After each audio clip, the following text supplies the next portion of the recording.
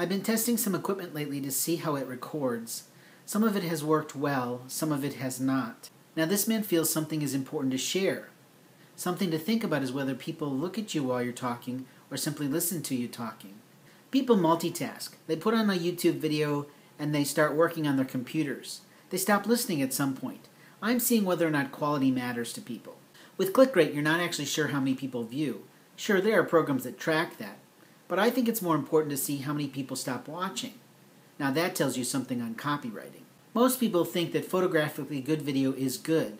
Do people tune in for special effects or do they tune in for copywriting? Sometimes time does not allow for fancy editing. Sometimes funds do not allow for hiring expert editors. People simply want to know who they're buying from. No one likes to be annoyed with the salesperson. Good copywriting makes people tune in.